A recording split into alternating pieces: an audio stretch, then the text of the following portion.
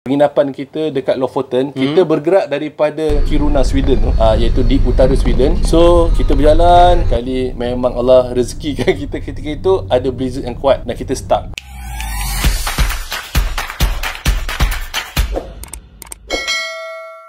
Okey, Assalamualaikum warahmatullahi wabarakatuh. Bersama kami di dalam rancangan Rare TV Okey, hari ini bersama saya Captain Azli. Ha, kan? Kau Captain Azli. Je ha, Ini man behind the scene yang selalu ambil gambar kami Ketika trip-trip Rare TV So, hari ini kita nak berkongsi Experience travel kami hmm. sebagai selaku Captain. Sebelum ini, Captain SN dia dah share Berkenaan dengan trip dia di London. London. Oh, Kaya-kaya have-have London Okey, so hari ni kita nak share pengalaman kami uh, bagaimana kita nak hunting aurora. Kerana apa? Kita nak sharekan kepada anda kenapa aurora ini menjadi kegilaan traveller Malaysia. Hmm. Uh. Bukan kata traveller Malaysia saja. Hmm. Actually satu dunia satu, satu traveller. traveller ha. Tapi kita scope lah dekat Malaysia. je lah. Ha. Kan. Sebab right. kan apa? Sebab vacation kat Malaysia. Ha. Eh, tambah juga Singapura. Ha. Brunei sama juga. Hmm. banyak tu banyak banyak. Okey, eh, sebelum kita pergi lebih jauh berkenaan dengan hunting aurora ni, hmm. kita fahamkan sikit lah. Okey cerita dengan macam mana aurora tu terjadi. Okey. Okey, ikut kan kalau nak cerita dia punya technical tu, uh-huh. uh, memang terlalu panjang. Boleh ambil degree kat situ eh. degree aurora. Tapi sebenarnya kita mudah kan. Sebenarnya aurora ni adalah cahaya yang terhasil lah. Terhasil uh. daripada pembebasan tenaga, uh, pertemuan antara ion daripada solar wind uh, hmm. matahari ni uh. bertemu dengan atom-atom hidrogen dan oksigen di muka bumi. Oh, bila dia bertemu, boom. Uh, bila laju tu daripada matahari tu datang, terbang Betul. ke bumi tu, dan dia bertemu bam oh. bam lepas tu bila dia bertemu tu bahkan tenaga oh. daripada tenaga tu ada bercahaya kat situ okey uh, sebenarnya cahaya matahari solar wind tu bahaya bang eh ha betul tapi kita dilindungi oleh ah, atmosfer bumi eh. alhamdulillah eh. Allah jadikan bumi ni dah memang cukup sempurna hmm. kita ada medan magnetik kita sendiri hmm. lepas tu kita ada lapisan-lapisan atmosfera ni semua, eh? kat sini kan yes. ha. jadi menghalang ion-ion daripada matahari tu daripada kena kita dengan adanya medan magnetik tu ha, dia dapat menghalang tapi Allah bagi pula kat situ kat kita kan nikmat untuk daripada satu yang bahaya menjadi satu ah, rahmat pula. Menjadi rahmat pula Dan kan. juga menjadi tarikan pelancongan. Ha, Faham eh? Ha, so itulah antara keindahan ataupun keunikan aurora. Dan antara lain untuk anda tahu sebenarnya matahari dia ada aktif dan pasif. Oh, ha, baru saya tahu. Okey bang. So kalau macam aurora ni dia terbahagi kepada dua betul eh? Betul. So ada aurora australis dan hmm. juga aurora borealis. Hmm. Australis ni iaitu di bahagian selatan hmm. ataupun kita panggil dia sebagai southern light. Dan kalau borealis adalah aurora di bahagian north ataupun kita panggil dia northern lights. So kalau northern light country-country yang berada di garisan Arktik selalunya seperti mana uh, Sweden, Norway, Iceland, Faroe Island, Amerika, Greenland, Greenland ah. dan juga ada beberapa negara yang lain seperti Canada juga. Betul. Uh, so kalau yang bahagian southern lebih kepada macam kadang selatan New Zealand mungkin rezeki boleh dapat. Betul. Ataupun Tasmania. Tasmania eh? dekat bahagian Australia lah. Uh, dan juga Antartika lah bang. Ah, Antartika tu boleh lah. Tapi tak ada orang pergi bawa trip. Vacation belum lagi bawa trip pergi ke Antartika. Tapi kita nak buat dah sebenarnya. Uh, uh, kalau tak Captain Shibli bawa. Uh, Itulah, tapi, tapi sebab COVID ni betul. tak ada rezeki lah untuk pergi ke sana. Kenapa ada di utara dan selatan saja? Uh, hmm. Kadang-kadang saya terfikir juga kan. Okay. Aurora tu kenapa nak kena pergi ke utara, nak kena pergi ke selatan baru nampak kan? Tak hmm. boleh ke dekat Katulistiwa kan okay. kita duduk rumah kita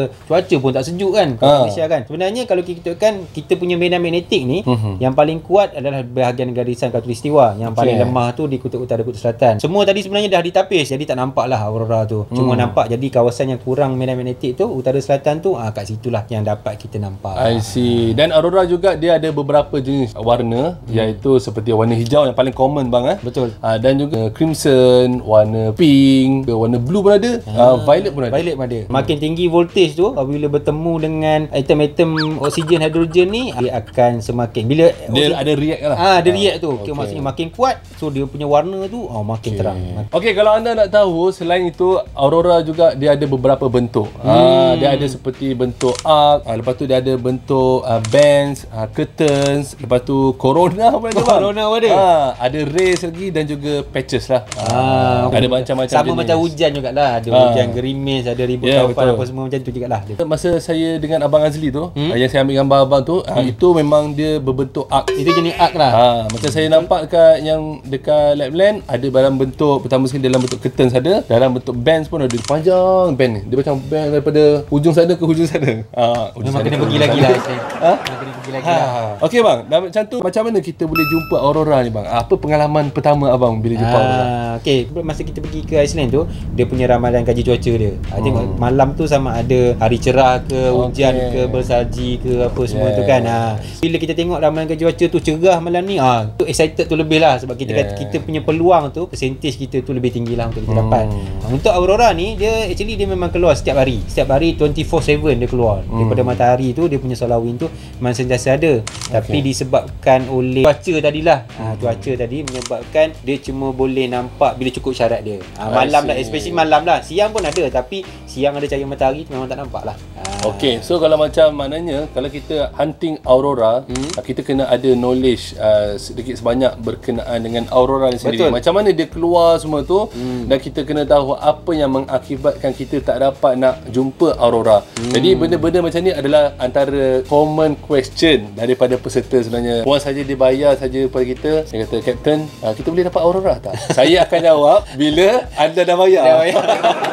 Sebab selalunya uh, aurora ni adalah satu rezeki daripada Allah Subhanahu Wa Betul. Taala juga Ah. sebenarnya. Selain daripada kita kena tahu juga secara saintifiknya ilmu-ilmu berkenaan aurora ia adalah melibatkan rezeki juga. Sama ada apps ke ataupun apa sahaja yang anda baca itu adalah forecast. Forecast Hmm. ini adalah prediction ataupun ramalan haji cuaca. So sama juga untuk hunting aurora anda perlu dapatkan clear sky tadi macam abang hmm. kata. Sebab walaupun bacaan KP index dia, KP index ni adalah rating yang diberikan untuk menunjukkan aktiviti aurora tu dia kuat ataupun lemah. Betul. So kalau yang kita boleh nampak dengan mata kasar dah keluar warna hijau selalunya 3 ke atas. Hmm. Ha, so itu dia selalunya untuk dia keluar CP-CP tu dalam 1.5 ke 2.4 macam tu. Betul. Ha, so kalau 3 ke atas tu kita dah happy dah. Captain akan happy macam wow nanti baca dalam apps Muka ada senyum lah bila tu.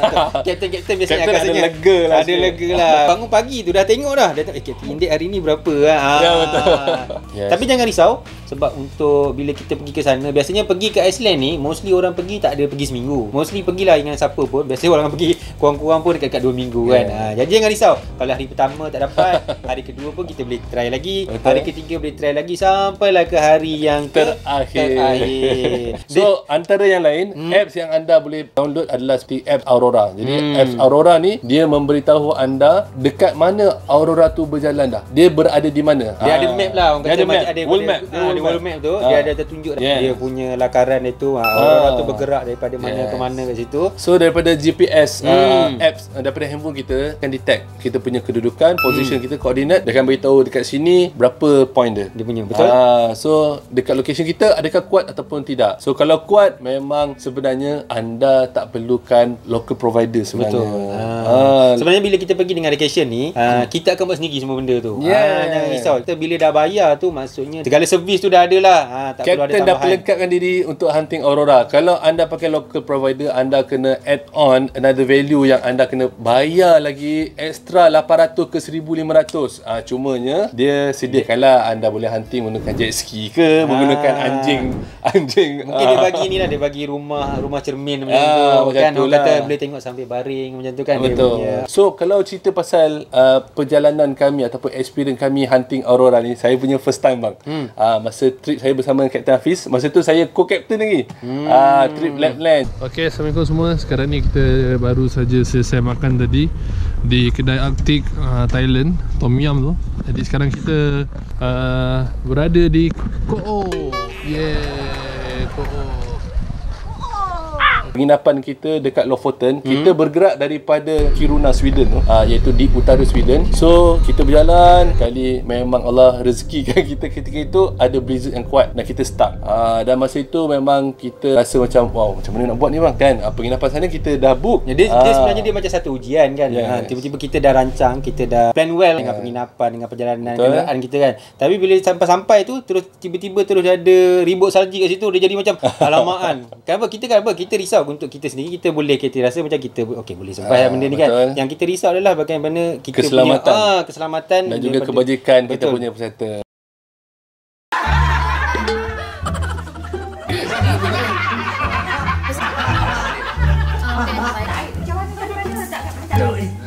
Okey bang, selamat Uh, so kita in the end kita menginap dekat Abisko tu Mujurlah kita boleh refund penginapan sana Dan pada malam itu bila kita keluar daripada penginapan Saya tengok dekat langit Kan tengok ada benda putih besar Saya tak tahu pun masa tu first time itu adalah Aurora sebenarnya Dia kan? bersama macam kat Iceland juga. Ah. Dia tengok putih juga kan. Tak ada apalah. Buat tak tahu je lah kan. Betul. Pada Hmm. keesokan hari ke arah Lofoten, kita menginap di Svolvær. Hmm. Lepas menginap, malam tu kita makan malam, semua dah siap. Keluar penginapan, tengok-tengok menjerit peserta.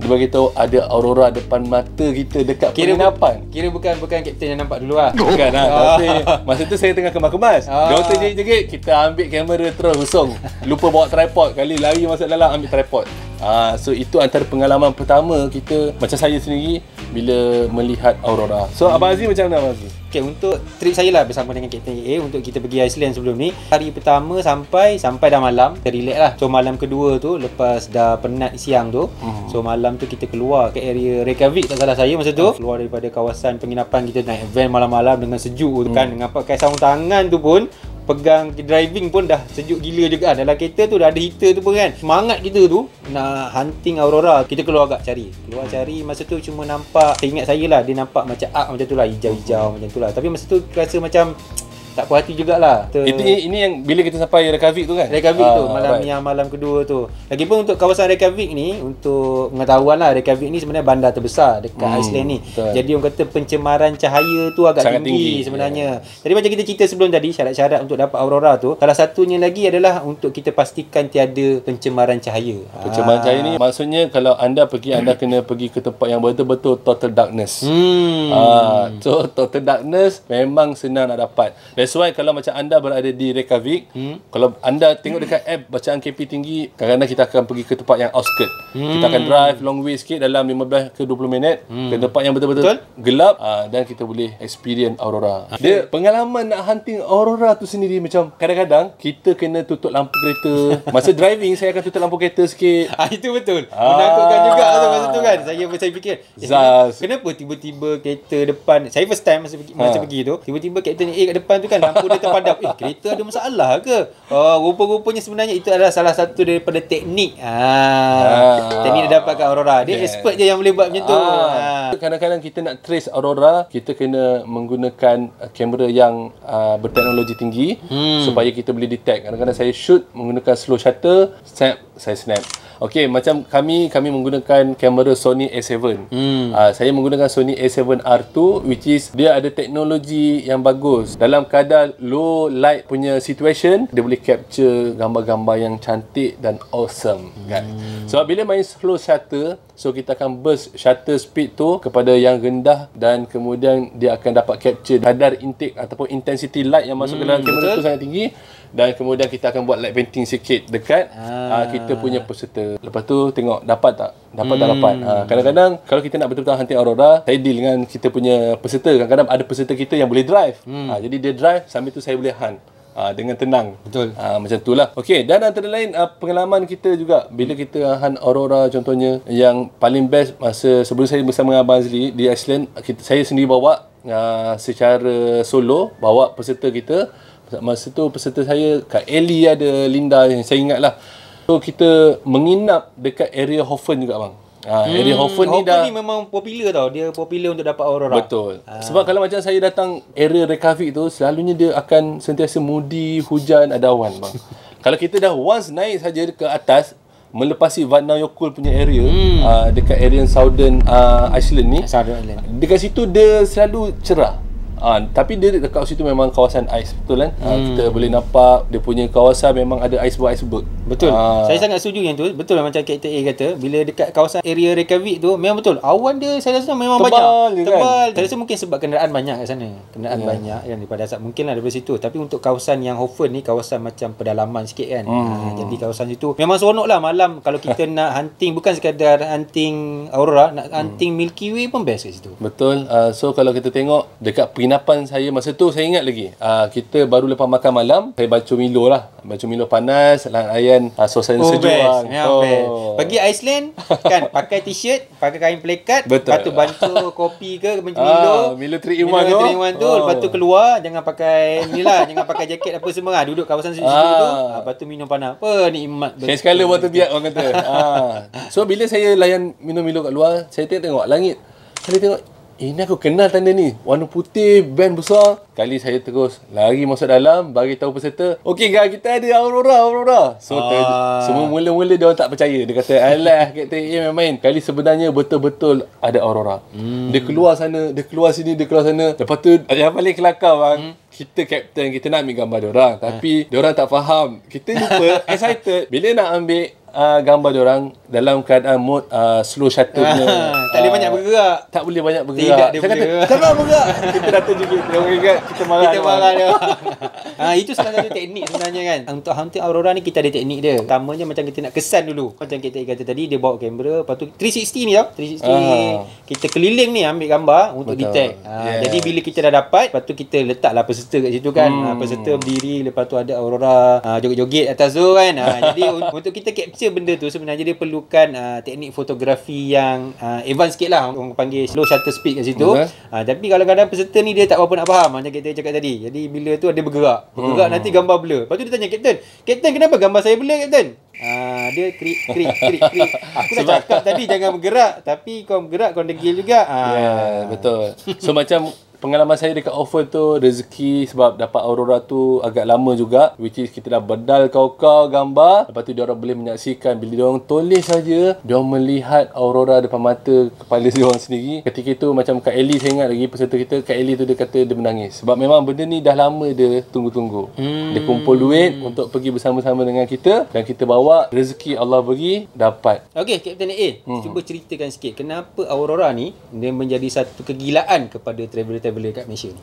Okey, bagi saya saya nampak kerana dia adalah satu nature wonders yang dicipta oleh Allah hmm? yang tak dapat dekat Malaysia. Ha, dia hmm. memang rare sebab apa? Dia hanya ada di bahagian yang tadi kita cerita di bahagian Kutub Utara. garisan Arktik ke atas tu hmm. dan juga Antartika lah. Ah. Ha, so kita kalau kita lihat dari segi keunikan hmm. cahaya dia, bentukan dia, fenomena alam yang berlaku hmm. dalam terhasilnya aurora ni hmm. itulah yang membuatkan ia antara wishlist uh, hmm. rakyat Malaysia ataupun Malaysian travellers bila ke negara-negara Nordic ni. Saya rasa untuk kaki kita travel ni, hmm. dia punya wishlist dia negara-negara yang di bahagian uh, utara ni yang okay. ada aurora ni menjadi diorang punya senarai hmm. yang paling atas lah untuk diorang pergi. Ha, sebab kalau, macam saya, saya jumpa orang-orang yang suka travel ni, even macam kawan-kawan apa semua kan.